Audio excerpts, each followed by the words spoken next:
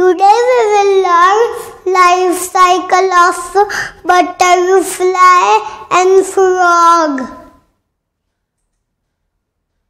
This is egg. This is a caterpillar.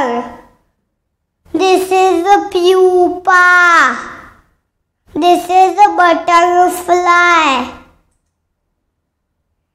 This is life cycle of the butterfly.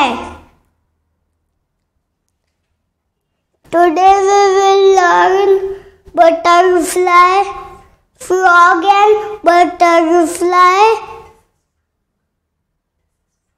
This is a frog. This is egg. This is this uh, this is embryo. This is a tadpole. This is a tadpole frog. This is the frog.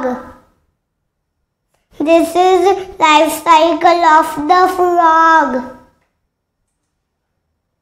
Bye bye friends.